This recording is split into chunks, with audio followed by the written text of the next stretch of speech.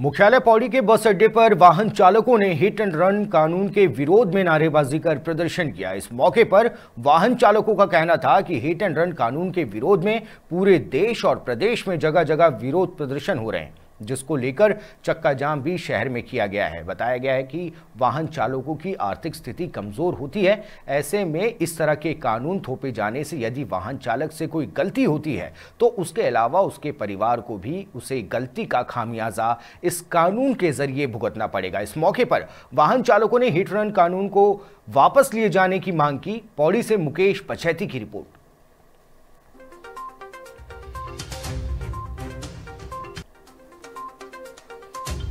वाला है। सरकार ने जो काला कानून ड्राइवरों के खिलाफ निकाला है ये हमें बिल्कुल बर्दाश्त नहीं है। और हमारी जो हड़ताल अभी सिर्फ़ दो दिन की है। उसके बाद आगे की रणनीति बनाई जाएगी इसमें क्या जो प्राइवेट वाहन चल रहे हैं उनके विरुद्ध कुछ कार्रवाई? प्राइवेट वाहनों के बारे में हम, हम, हमने कई बार आरटीओ से शिकायत की है लेकिन उसने भी अभी तक कोई कदम नहीं उठाया। परिवहन विभाग जो है नींद में सो रखा है सिर्फ़ टैक्सी वालों के पीछे पड़ा रहता है।